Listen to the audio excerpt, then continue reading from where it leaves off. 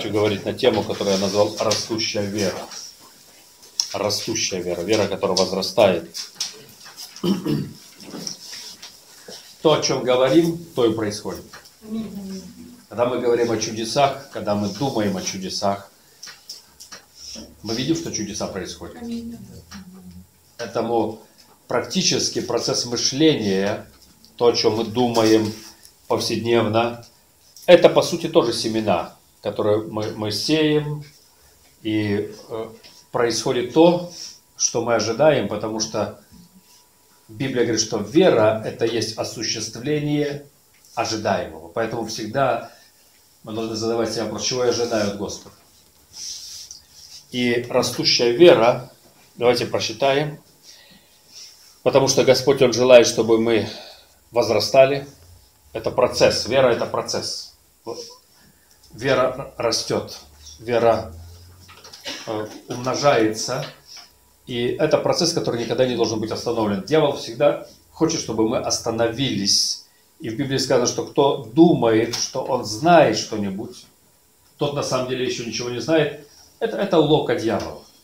Что мы уже думаем, я уже знаю, я знаю эти места Писания, я знаю, что такое вера, но вера, она постоянно растет, должна постоянно расти. Это процесс, который должен постоянно происходить. Библия говорит, что Бог переводит нас от силы в силу. У тебя есть определенный уровень силы, определенный уровень познания Господа, определенный уровень помазания. И Господь желает дальше тебя проводить. От силы в силу. От, написано, веры в веру. От славы в славу. Итак, прочитаем. Процесс важен, но процесс не ради процесса, а ради результата. Итак, э, Евангелие от Марка, 4 глава, с 26 стиха, «И сказал, Царство Божие подобно тому, как если человек бросит семя в землю». Это местописание, по которому я часто говорю, это одно из моих любимых мест Писания. И я опять-таки повторю, что тут есть условия, чему подобно Царство Божье. Царство Божье – это праведность, это мир, это радость, это благословение, это исцеление, это здоровье, это помазание Божье. И ученики, конечно же, они размышляли, чему же, то есть каким образом мы можем ходить в силе Царства Божьего. Иисус сказал, что Царство Божье, оно подобно тому, как если, если это условие, человек бросит семя в землю. Заметьте, не Бог, а человек. Однажды я выставил такой пост на Фейсбуке, что человек мы должны сеять, и мне там некоторые написали, нет, это Господь делает. Что Господь должен, должен сеять в нас. Ну тогда мы э, всю ответственность перекладываем на Бога. Иисус сказал, имейте веру Божью. Мы ответственны, чтобы иметь Божью веру как если человек сознательно, осознанно бросает семя в землю. Растущая вера – это осознанное действие, это постоянное взаимодействие со Словом Божьим. Конечно, у нас должны быть мотивы правильные, потому что вера Божья дана нам не, не только для того, чтобы решались какие-то наши нужды – но, во-первых, для послушания Слова Божьего. Но это процесс. Но прежде, чем говорить об этом, я хочу обратить ваше внимание, что это не ради процесса, а ради результата. И так как если человек бросит семя в землю и спит, и встает ночью и днем, и как семя всходит и растет, не знает он. То есть заметьте, Слово Божье, когда мы получаем Слово Божье, когда Господь говорит нам через Писание, каким-то другим образом, это всего лишь начало процесса. Если мы это не понимаем, тогда мы будем разочарованы в своей вере, потому что иногда мы забегаем вперед. Мы говорим, я прочитал место Писания, у меня есть место Писания, я верю в результат.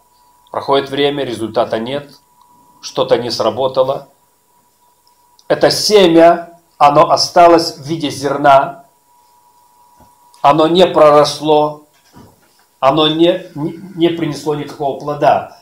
Поэтому, поэтому семя, Слово Божье, как зерно, это начало процесса. Если нет Слова Божьего, тогда этот процесс даже не начинается. Но если есть Слово Божье, у нас есть все шансы, чтобы начать этот процесс возрастания в вере. И спит, и встает ночью, и днем, и как семя всходит, и растет, не знает он. Итак, должно что-то начать происходить с этим семенем, с этим зерном. Ибо земля сама собой производит сперва зелень, потом колос, потом полное зерно в колосе. Когда же созреет плод? Я хочу обратить ваше внимание на вот эти слова. Когда же созреет плод? Плод – это результат. Это результат того, о чем говорит Слово. То есть все, весь этот процесс ради плода, ради результата. И обязательно будет результат, если мы позволяем этому процессу происходить.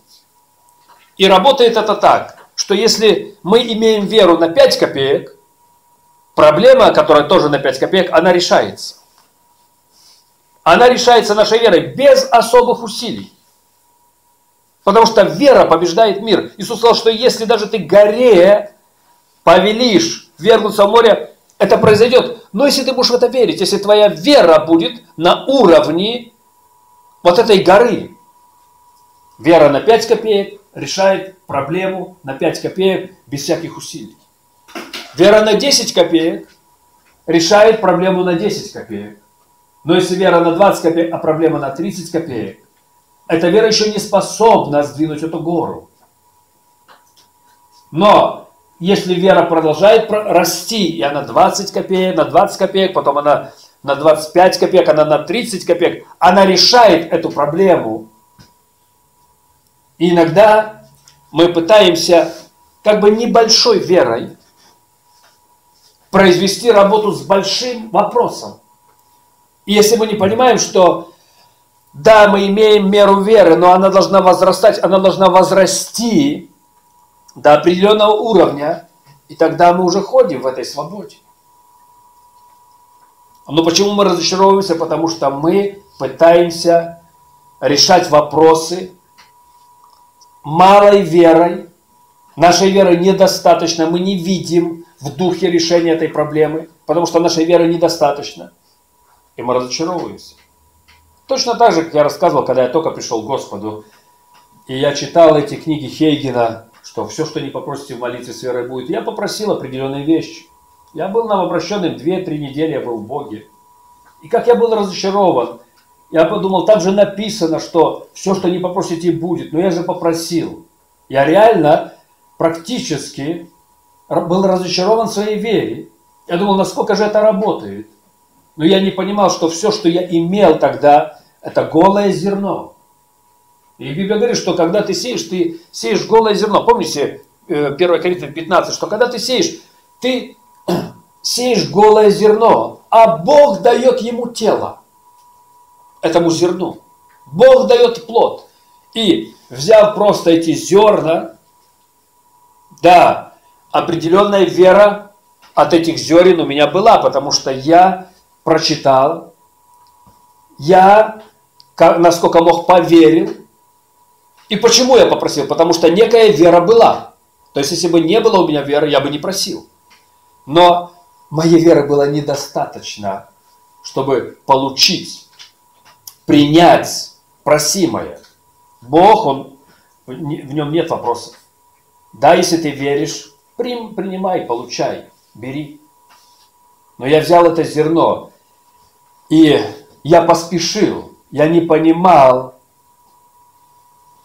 вот это, что должен произойти процесс возрастания веры, и вера постоянно должна расти. Когда мы останавливаемся, когда мы думаем, все достаточно, я уже верю, у меня уже есть слово, я буду провозглашать, я буду исповедовать, Но когда мы видим, что это не работает, мы не должны разочаровываться, мы должны понять, что нам просто надо продолжать взращивать веру. И если этот процесс происходит, смотрите, Иисус говорит, что когда же созреет плод, Он не говорит, что если плод созреет. Он говорит, что если этот процесс будет происходить, там он невидимый, созреет плод, будет результат. Поэтому нам необходимо постоянно возрастать. Поэтому Иисус, видите, говорит о различных стадиях веры. Это зерно, это зерно, которое прорастает, это зелень, это колос, это полное зерно в колосе, и затем плод. То есть разные уровни веры, разные уровни вот этого процесса. И если мы берем Слово Божье, вкладываем в свое сердце, уже есть определенная вера. Но пусть это Слово работает. И когда мы читаем вот эту притчу в начале Евангелия Марка, помните притчу о сеятеле? Иисус показывает, каким образом сатана желает прервать этот процесс. То есть сеятель сеет слово, сеятель сеет семя, а сатана пытается прервать процесс роста веры. И там несколько почв. То есть иногда это сразу слово, ну, он ворует. Иногда написано, что даже уже там какие-то корни пустили. Мы потом еще обратимся к этой притче сегодня. И дьявол делает что-то в естественном мире. Он пытается отвлечь тебя. Он пытается украсть слово. Он пытается прервать этот процесс возрастания в вере. Евангелие от Матфея, 1 глава, 10 глава, 1 стих, 10 глава. «И призвав 12 учеников своих, он дал им власть над нечистыми духами, чтобы изгонять их и врачевать всякую болезнь и всякую немощь. Дал им власть. Евангелие от Матфея, 10 глава, 1 стих. Он дал им власть над нечистыми духами, чтобы изгонять их и врачевать всякую болезнь и всякую немощь. Мы, как верующие, имеем власть над нечистыми духами. Мы имеем власть молиться за исцеление больных. Дорогие братья и сестры, если вы видите, иногда Господь будет давать такие ситуации, что вы можете молиться за людей или изгонять бесов, помянуйте Слово. Иногда мы говорим, это должен сделать кто-то, может быть, это должен сделать пастор. Это ты должен сделать. Ты несешь ответственность за круг своей жизни. И когда мы младенцы, конечно же, Господь позволяет, чтобы кто-то со стороны нам помогал. Но когда мы по времени уже не должны быть младенцами, мы берем эту ответственность. Мы можем противостоять злым духам. Мы берем ответственность, чтобы охранять Слово. И вот Господь дал им эту власть. Евангелие от Матфея, 17 глава. Я прочитал 10 главу, чтобы мы видели, что они имели эту власть. Господь уже дал. Но это было как голое зерно. Он дал им, он провозгласил. Это было как голое зерно, но они еще не видели себя в этой роли. 17 глава Евангелия от Матфея. «И пришел человек к Иисусу со своим сыном, и он сказал, я приводил его к ученикам твоим, и они не могли исцелить его». Имеют власть, имеют силу, но ничего не происходило. Они, конечно же, пробовали, но не получилось. Тогда ученики 19 стих приступили к Иисусу наедине и сказали, почему мы не могли изгнать его? Господь никогда не боится наших вопросов. Если что-то не получается, всегда задавай вопрос. Знаете, иногда мы закрываемся. Что-то не получилось, ты разочарован в вере, и ты закрылся от Господа, и ты как бы не ищешь ну, ответа. Но они, видите, ученики, они всегда подходили, они говорили, объясни нам эту притчу, объясни нам это. И здесь они тоже подошли, у них были такие доверительные отношения с Господом.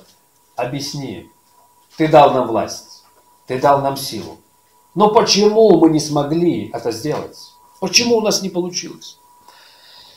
Иисус уже сказал им, по неверию вашему, Ибо истинно говорю вам, если вы будете иметь веру с горчичное зерно, и скажете горе этой, перейди отсюда туда, она перейдет, и ничего не будет невозможного для вас. В нашем переводе написано по неверию, но на самом деле неверие это негативная сила. Иисус сказал, из-за вашей маленькой веры. Ваша вера, она мала.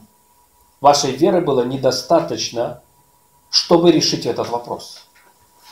И в другом переводе так сказано, в нашем переводе сказано, что если бы вы имели веру с горчичное зерно, в нашем переводе так сказано, но в другом переводе сказано, если бы вы имели веру, которая растет, как горчичное зерно.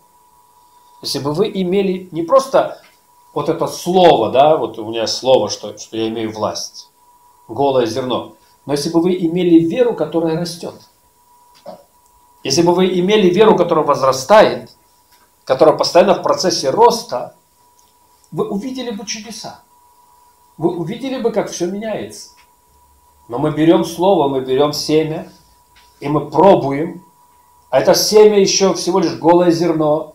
Оно еще не проросло, оно еще не принесло плод. И мы пробуем уже его использовать но, но слава Господу, что у нас есть мера веры. Но этой веры очень часто недостаточно, чтобы решить какую-то проблему. Ты имеешь слово о финансах, что Господь э, э, защитит твои финансы, что Господь тебя благословит. Но этой веры еще недостаточно, чтобы ты без всякого напряжения видел, как финансы приходят теми путями, которые Господь предопределил. Или какой-то другой вопрос, я просто для примера привел.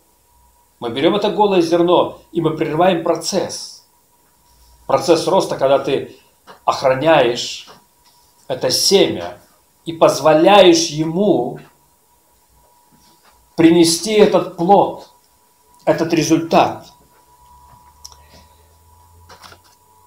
Итак, я еще раз повторю, что притча о сеятеле –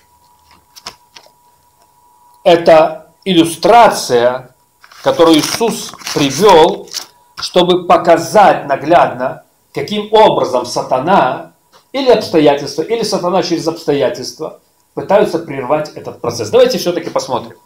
Еще раз, Евангелие от Марка 4.